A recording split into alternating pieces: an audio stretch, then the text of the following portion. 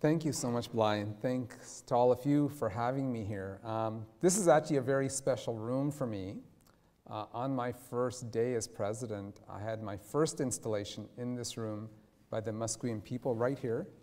Uh, and so um, it's really an honor to be in the Longhouse on the unceded territory of the Coast Salish people. It's wonderful that you would have me here and for me to learn about the Faculty of Education's focus on advancing the quality and impact of educational research at UBC within our communities through this particular initiative. And for those of you who saw my installation, you'll know that I talked about why it's important for UBC to have an unwavering focus on research and on research excellence, and, and this aligns so well with this. I, just before this event, we had an interesting discussion with the dean and many of the faculty around the direction we'd like to see uh, for UBC. What I'm proposing are the major areas of foci for UBC. And let me just go through them very quickly for those of you who weren't here. I talked about the two core academic missions of the university uh, and how we need to make sure we're always keeping our eye on those two missions. First, UBC is a place of learning. We know, and I think we all believe, that our biggest obligation here is to our students and to make sure that we provide them with a wonderful education because we know that the best route for social mobility and economic mobility in our society is in education, and that personal empowerment comes through education. And so, what you're doing, both in directly educating your students, but also giving them the tools to educate a new generation, is critical for the success of this country, and I would argue for the world. The second piece is around UBC as a place of research. And I think it's fair to say that, that excellence in research is what is now becoming the distinguishing feature of the great universities in the world. And we have to make sure that when we're doing this research, our students are benefiting. They're benefiting from access to the discoveries, the revelations, the thinking that we have on our campus, because that's what's going to create the leadership that we need in this country, leadership that's going to address the very significant social problems, economic problems, environmental sustainability issues that we face as a people.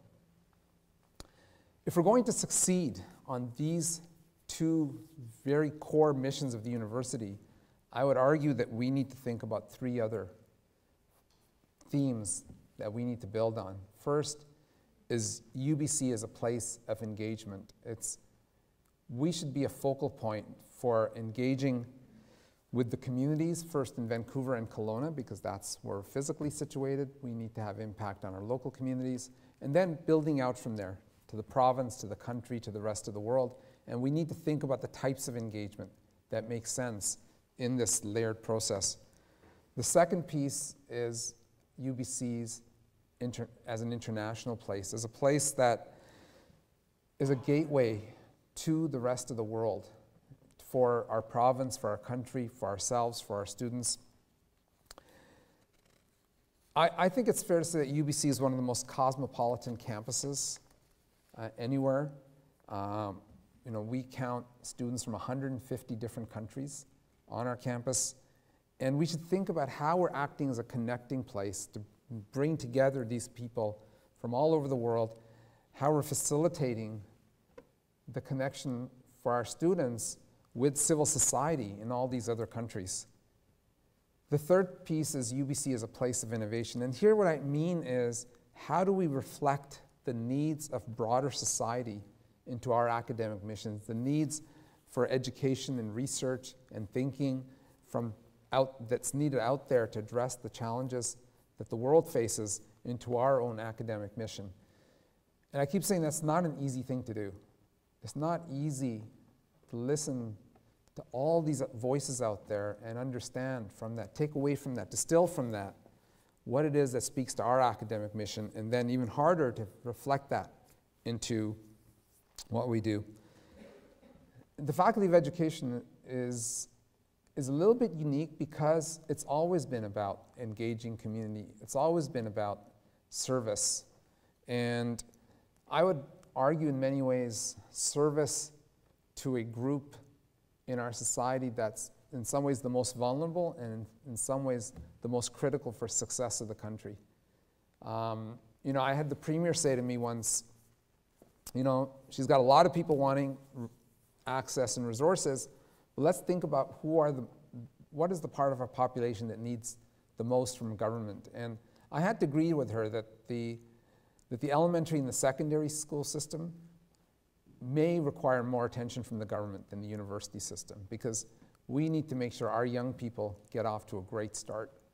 And that what you provide to the teachers you train, to the professional programs you create, is making sure our young people in this country have great long-term outcomes. So I want to thank you all for everything you do. I'm looking forward. Unfortunately, I can't stay too long today, but I do want to learn about some of the research programs you're running. I think they're going to be really exciting uh, for me to learn about. And I'm also looking forward at some point getting to meet some of your students and, and hear about all the wonderful things they're working on. So thank you very much.